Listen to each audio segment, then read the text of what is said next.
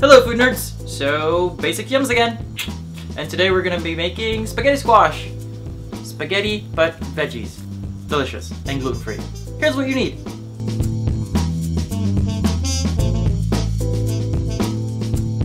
So you're gonna start by preheating your oven to 375.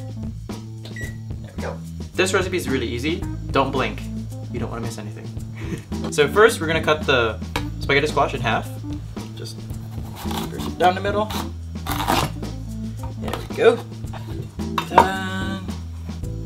What we're gonna do is we're gonna take all the seeds out.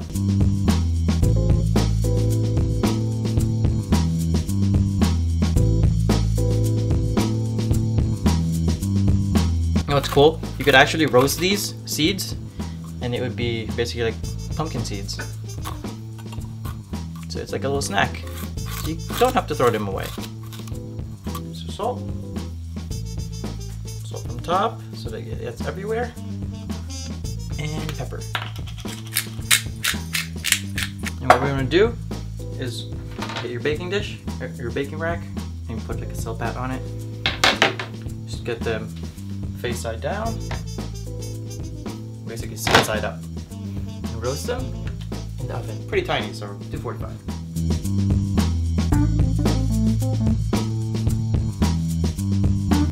It's ready! Alright, take it out.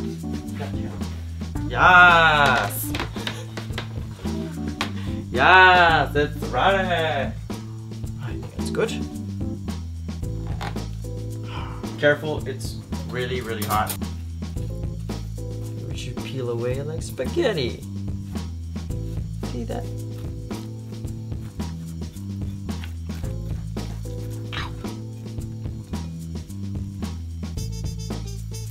Like natural angel hair.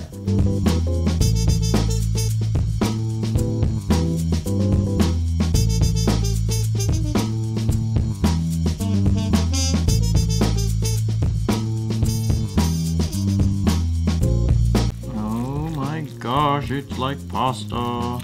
So what I put in the pasta was basically the pomodoro sauce that we made last time. The link will be somewhere down here. And we just put turkey in it to make it turkey bolognese. Mm, mm, mm, mm, mm. It bites like al dente pasta. It's really good.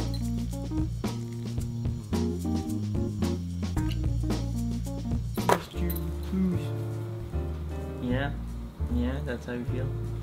Hey food nerds! So, hope you liked the recipe. Uh, give it a try and let me know in the comments below how it went. Sorry if I'm sounding a little congested because I am a little congested because it's winter here in New Jersey. Oh, you're over me? Okay, bye. Also, I just got back from Orlando, which is pretty awesome.